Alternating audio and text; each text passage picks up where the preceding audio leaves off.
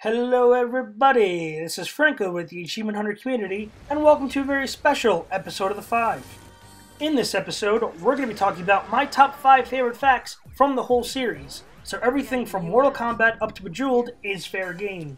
So without any further ado, here are my favorite facts.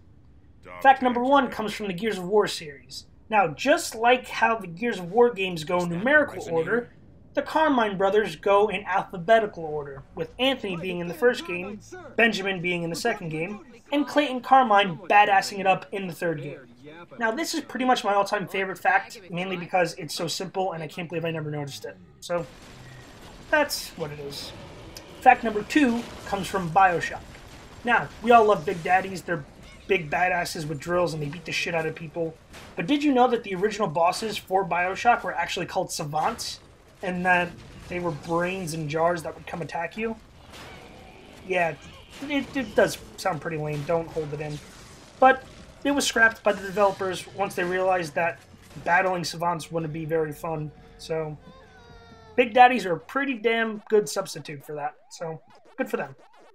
Fact number three comes from the Pac Man franchise. Now, Pac Man is a classic game. It's um, pretty much one of the all time greats and that is recognized in the Smithsonian because Pac Man is only one, or is one of only three games that are on display in the Smithsonian Museum in Washington, D.C., with the other two being Pong and Dragon's Lair. So it's really cool that video games are getting recognition in American history. Fact number four comes from the Sonic the Hedgehog series. Now, Sonic is in a plethora of games, and I love my vocabulary on that, because plethora has a lot of syllables. But anyway, Sonic is in a lot of games, but did you know that his first game wasn't even a Sonic game? In 1991, Sega came out with an arcade racing game called Rad Mobile, or Mobile. And in that game, on your rearview mirror, Sonic is an air freshener that swings back and forth.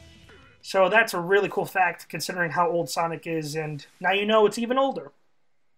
And finally, fact number five the Alan Wake series is known for being really creepy and really awesome. But did you know that those creepy enemies were made even more creepy by the development team after they poured water all over the concept art? Now, that's probably my second top favorite fact because I love finding alternate ways to do stuff. And, you know, just creating creepy rather than drawing creepy is a lot cooler to me. But thank you so much for watching. Those are all the facts. Check back at achievementhunter.com for more. And keep an eye out for this series coming to the main channel very soon.